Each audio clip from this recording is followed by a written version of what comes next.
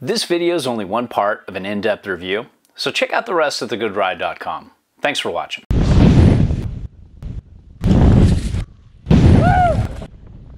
Welcome to The Good Ride. I'm James Beastie, and this is the Never Summer Proto Freeride Triple Camber Technology tester, uh, but very similar to the production model. Next to it's the Hammer, and then the Big Gun, and the Proto Ultra. Won't be talking about those two, but we'll be talking a lot about the Hammer and the Proto Freeride because they're very similar in shape, specs, and everything except for camber profile and setback on board. I rode these with my Burton Kendos and my Union Atlas.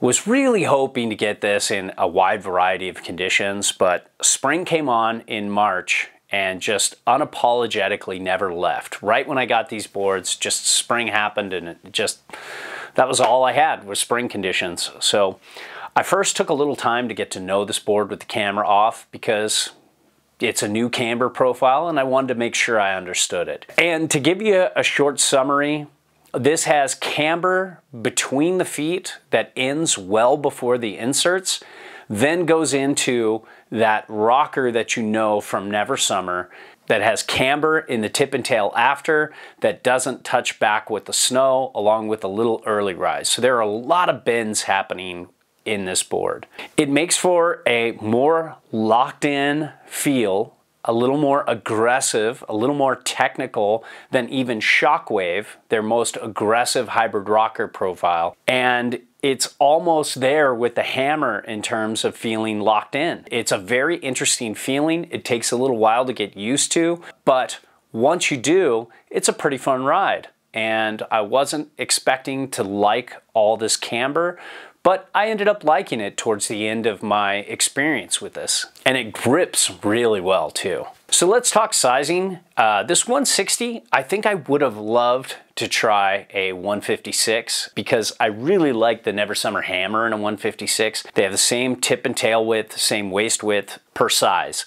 And so I think this this in a 56 would be a lot of fun for me. But the 160 I could handle no problem with my size 9 boots and my 185 to 90 pounds at the time I was doing this.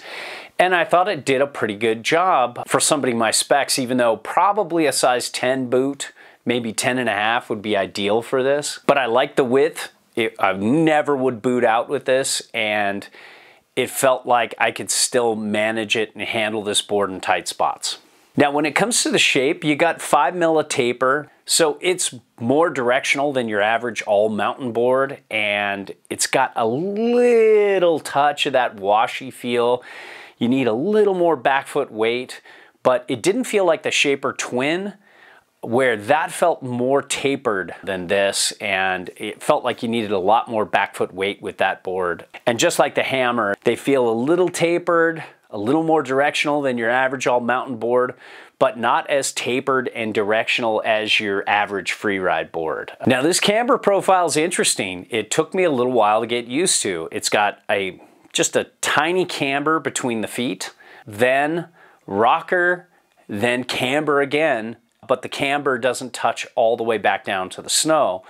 So you could feel that little camber between the feet and it sometimes I, I, was wondering if I wanted to detune it because it felt a little catchy, a little hooky sometimes. And when you weighted down the tip and tail, there was a lot of camber happening along this side cut and it felt a little more locked in than I thought it would.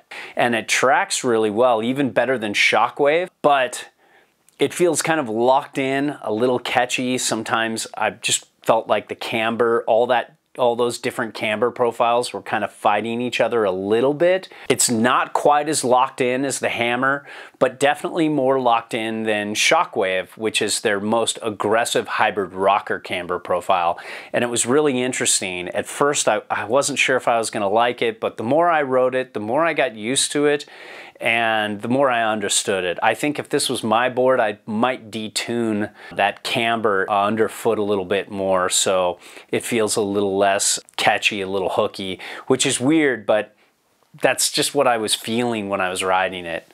I think it would really like a detune. So not the easiest to skid turns. I would say it's more for advanced to expert riders. I think over time though, just like I did with Hybrid Rocker 10 years plus ago, you'll get used to this feeling and it's not gonna have a long learning curve. It only took me about a day to get comfortable with it. Now let's talk flex. This is a really stiff board, really stiff under the camber profile right here.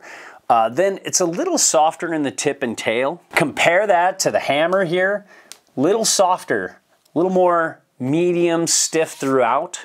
And I think Never Summer made the Proto Freeride a little stiffer just to deal with all those bends because they felt a lot more similar on snow than they do here under pretty light when I'm flexing them and playing around with them.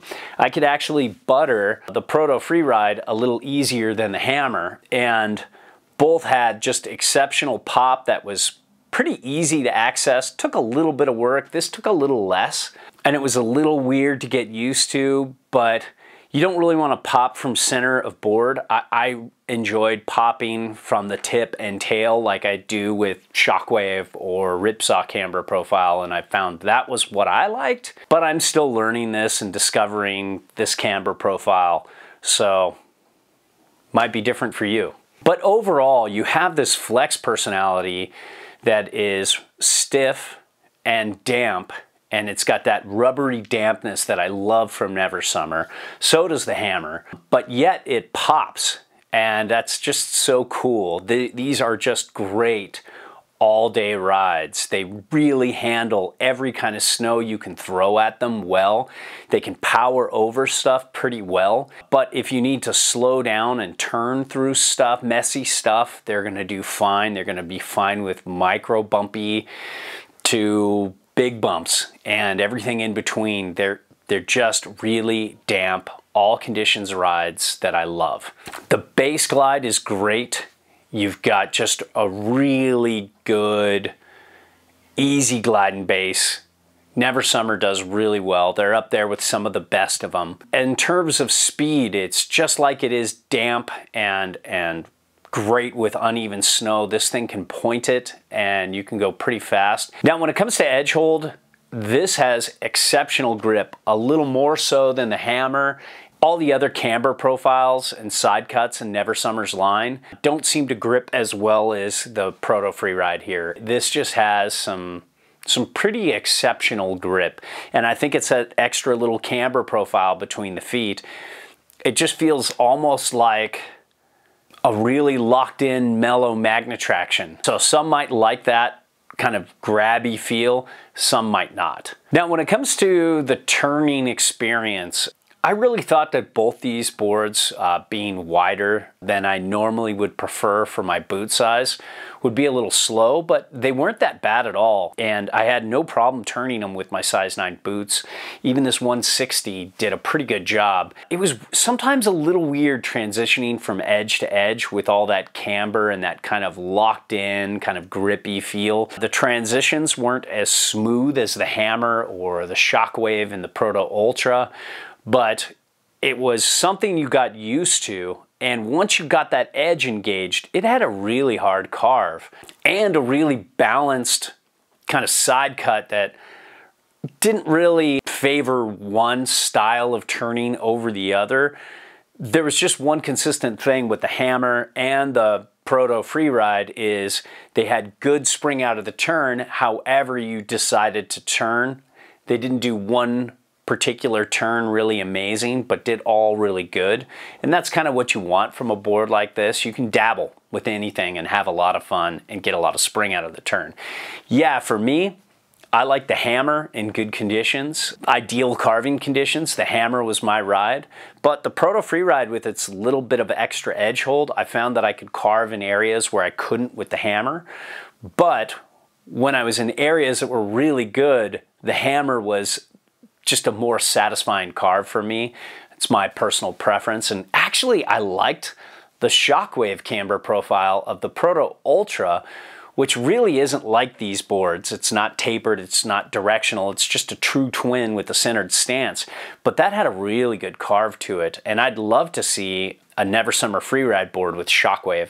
That would be really cool. I wonder what this would be like with Shockwave. Now, when it comes to powder, both these boards have the same tapered directional shape. If you're talking 56 to 56 or 60 to 60, they have the same width, same side cuts, same everything, but they have different camber profiles and different setbacks on board. So the hammer has a setback from center of board at a 22.25 inch stance width set all the way back with full size discs. This is 2.625 back from center of board.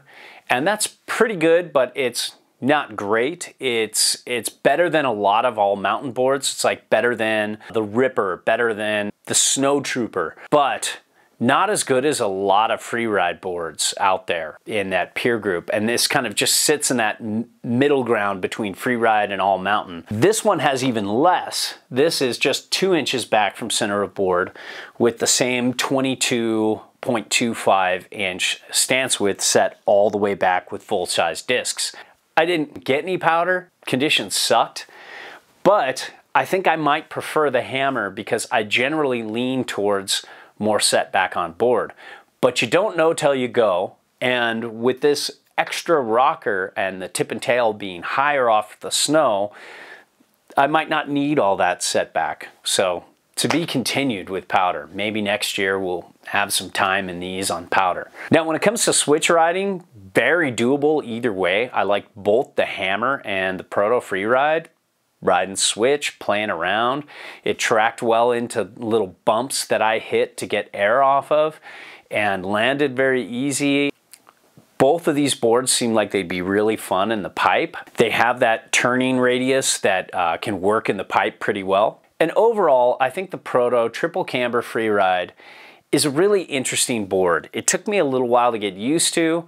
I'm not sure if it's for everybody, but I think if you're willing to experiment and try something new, you might have a really fun time with it. Personally, I'm kind of enjoying the shockwave and the directional camber a little more, but you know, we'll see over time as I try this with different boards and get used to it more, my opinion might change.